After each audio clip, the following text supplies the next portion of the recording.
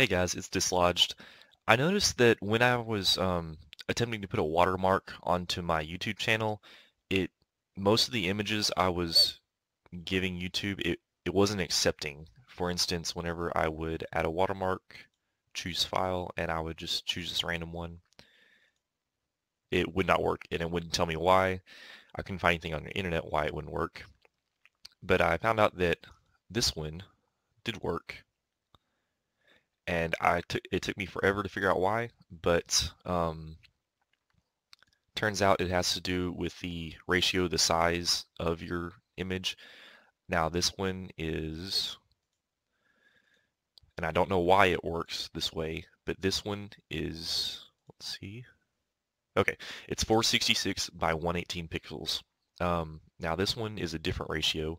I don't know what it is, I don't care, but I found out if it's that size and also if it's um, larger, but you keep that ratio, it'll work. Now I don't think, I think if you change the size, YouTube will just bring it back down to size and it won't matter.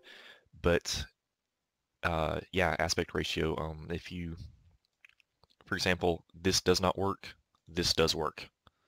Uh, I use paint.net. If you go to new, do not check that because this is, okay, 466 by, I believe it was 118.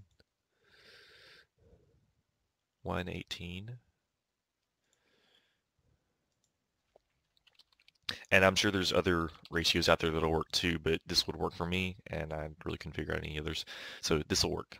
This size, 466 by 118. Now,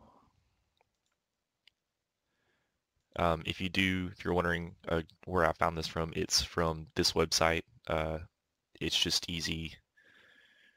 Uh, you choose your logo, text, and you can customize colors and backgrounds and all kind of shades. You don't have to buy anything, and you can just download it the way it is.